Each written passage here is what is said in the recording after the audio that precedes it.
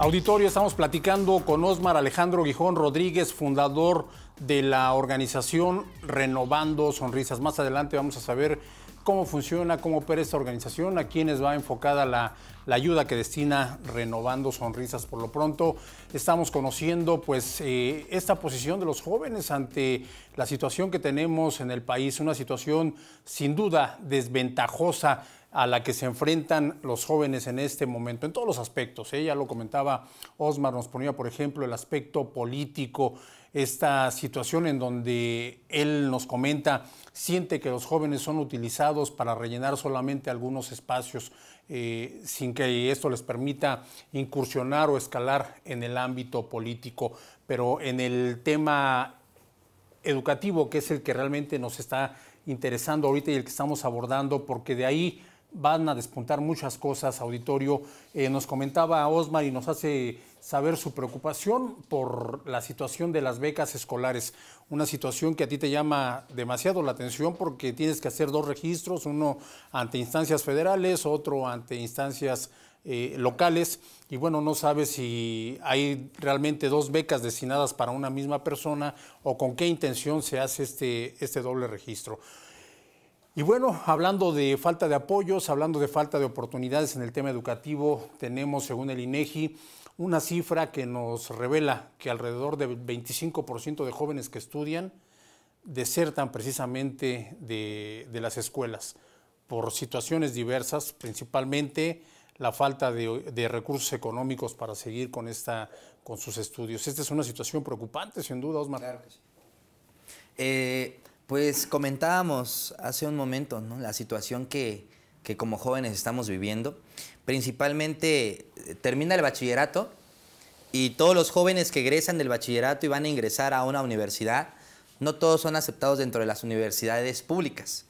Como opción, pues dejamos la parte de estudiar en una universidad privada, pero también mencionar que no todas las personas tienen las condiciones y el recurso necesario para poder estudiar en una universidad privada pagar cada, cada mes esta inscripción y así por durante cuatro o cinco años dependiendo de la carrera.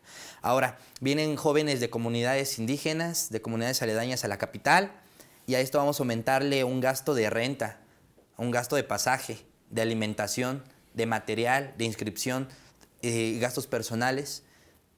Muchos jóvenes tienen que, salirse de, de la universidad para poder o trabajar, o trabajar y estudiar, y al trabajar y estudiar no es malo, pero perjudica también la parte eh, de estar al 100% en, tus estudios.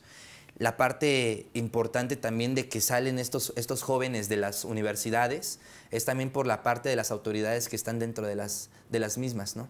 La parte de, que mencionabas sobre la economía. La economía, cómo está actualmente en Oaxaca y actualmente cuánto está destinado para los jóvenes hablábamos del progreso y hablábamos de las becas, pero realmente esa beca que te la dan mensualmente y que no todos tienen oportunidad de tenerla, ¿para cuánto te puede alcanzar? Fuera de ello, fuera de una beca, yo no encuentro programas eh, ni, locales ni nacionales en apoyo de la juventud. ¿Oportunidades de empleo para los jóvenes? Eh, en periódicos, por ejemplo, omita cierta universidad. No presentarse egresados de cierta universidad o se necesitan por lo mínimo eh, un año de experiencia. ¿Y de dónde voy a sacar yo como joven la experiencia si nadie me ha dado la oportunidad de poder trabajar en el ámbito que yo me desempeño? Termino la universidad, pago durante cuatro o cinco años el recurso, la inscripción, todo lo que a mí me piden. Y sin embargo, termino, no encuentro a lo mejor oportunidad de empleo aquí en Oaxaca, tengo que irme a otro estado a poder trabajar o simplemente tengo que conformarme con un salario eh, desagradable en el, que cual, en el cual también yo tengo que empezar a darme cuenta como joven que tengo también necesidades, que tengo que a lo mejor el día de mañana tener una familia y qué vida le voy a ofrecer a mi familia. ¿Te has encontrado con casos en donde realmente las empresas descalifiquen a los egresados de alguna u otra escuela, de alguna universidad? Pues principalmente son las, este, son por lo regular en los periódicos toda la, todos los días eh, que se checa la parte de, del trabajo laboral, nos vamos dando cuenta que sí, sí hay empresas. ¿Sí ocurre eso? Sí, sí hay empresas, ¿no?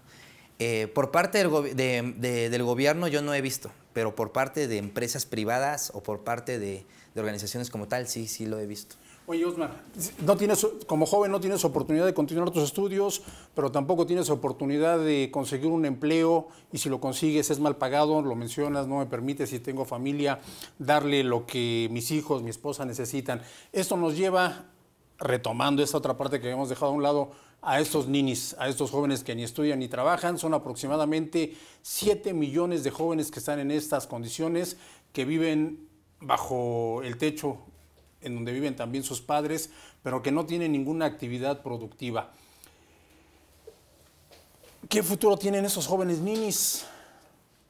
Pues bueno, el futuro que pudiesen tener es realmente, como lo mencionaba en un principio, caer a lo, a lo negativo. Caer al alcohol, a la droga, al cigarro, a, simplemente a la prostitución, a la parte del narcotráfico que actualmente está de moda y principalmente dónde está dónde queda el sustento familiar. O sea, yo ¿Se conozco en carne de cañón en campo fértil para grupos de, delincuencia. Claro que sí. O sea, es, es, yo creo más que más que darse cuenta de ello, es también abrir los ojos y ver que en Oaxaca actualmente pues también están subiendo las cifras del narcotráfico. Y también somos como que esa, esa carne débil que como no tenemos ni trabajo y como no termino mis estudios, pues me voy por la vía más fácil.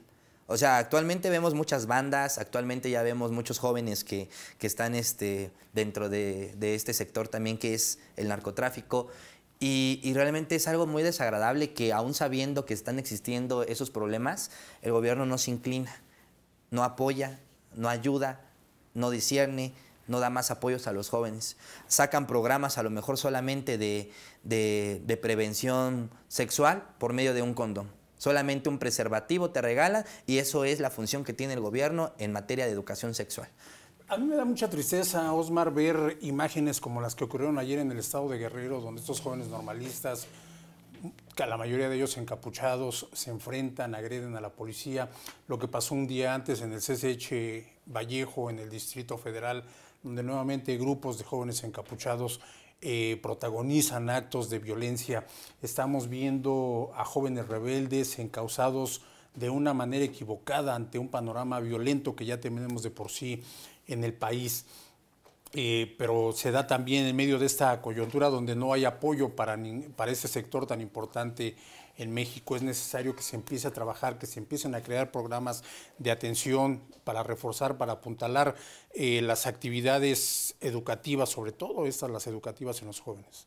Claro que sí, o sea, lo que, lo que comentábamos y lo que veíamos ayer en, en las noticias, pues es desagradable, principalmente porque soy joven, porque muchos jóvenes me están viendo, porque realmente trabajo para los jóvenes y trabajo dentro de mi sector que es juvenil, y, y, y, simplemente eh, ¿para qué irnos a Guerrero si aquí en Oaxaca también hay, un, este, hay una alta masa de, jóvenes ninis, de jóvenes que no tienen esa oportunidad, pero principalmente el gobierno al crear programas a favor de los jóvenes, el gobierno, este, el, poder legislativo, al tener iniciativas de ley a favor de los jóvenes, yo creo que cambiaría un panorama muy grande.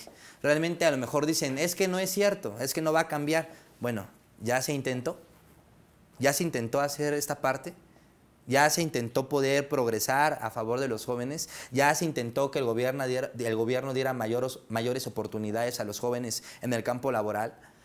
O sea, a veces este, sacan algunos programas eh, de empleo, empleo juvenil, ¿no? A lo mejor sacan algunos programas de estos, pero también te das cuenta que cuáles son los programas, eh, cuáles son los empleos que te brindan dentro de estos programas federales como ¿Qué tal. empleos son los que Pues a lo mejor son simplemente, no, no como tal progresar, son, son trabajos de empresas eh, para ser a lo mejor mesero, para trabajar como recepcionista, para trabajar solamente en algún café, para trabajar en alguna tienda comercial, pero realmente son empleos temporales, que aún así, eh, en, algunos establecimientos, yo tengo algunos amigos trabajando en, en muy conocidos este, centros comerciales y en muy conocidos establecimientos de comida, en donde el salario realmente por otros dos pesos, tres pesos más es mínimo y es una jornada prácticamente de estar 16 horas, doblar turno, y el salario es desagradable. Y esos son los, donde se necesita que el gobierno esté brindando oportunidades a, a los jóvenes. En materia de salud, Osmar, las jovencitas y los jovencitos cada vez son papás a una edad más temprana. Así es. la vida sexual también, también empieza a una edad más, más joven. De hecho, hay encuestas por ahí que nos hablan que los jóvenes empiezan con su vida sexual a partir de los 16 años. Esto nos lleva a muchas situaciones de desventaja y de vulnerabilidad en la que quedan expuestos estos, estos jóvenes. ¿Tú crees que la juventud tiene acceso en toda la extensión de, la palabra a los servicios de salud?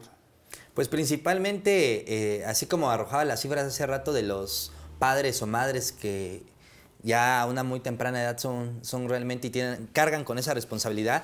Así realmente puedo, puedo mencionar que eh, en materia de salud, antes de hablar de, de, educación como tal de salud, hay que hablar de salud mental.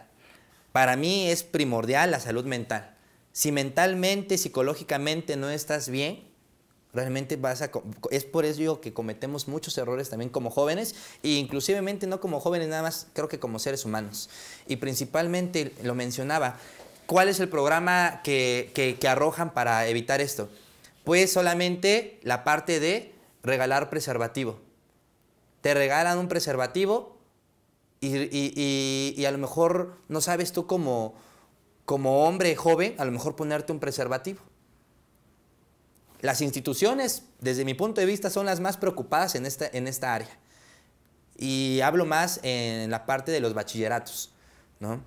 ¿Por qué? Porque solamente yo creo que lo ves como materia de ética y valores o como parte de, este, orientación educativa, pero fuera de, fuera de las instituciones que, por ente trabajan, yo no lo veo por parte del gobierno. O sea, yo no veo una campaña a favor de la salud mental. Al gobierno o desde mi punto de vista, a las autoridades conviene tener un, pueblo, una comunidad ignorante, una comunidad que no está informada, una comunidad que no se supera, porque somos mayores este, manipulables como jóvenes y como personas. Vamos a una pequeña pausa. Osmar Alejandro Guijón Rodríguez, fundador de la organización Renovando Sonrisas. Ya, como le adelanto, más adelante vamos a ver a qué se dedica, cuál es la intención de esta organización que preside nuestro invitado del día de hoy. Por lo pronto hacemos una pequeña pausa y regresamos de inmediato.